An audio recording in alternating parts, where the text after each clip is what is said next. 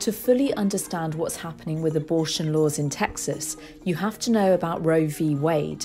In 1973, a Supreme Court ruling legalized abortion in the US.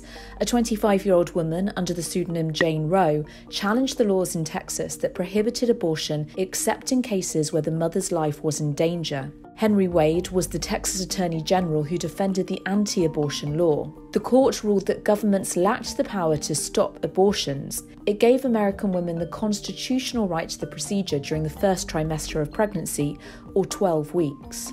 The state of Texas has now brought in a controversial law banning abortion from as early as six weeks. President Joe Biden said the Texas ban violates the rights established under Roe v. Wade, and the US Department of Justice has filed a civil lawsuit challenging the new law.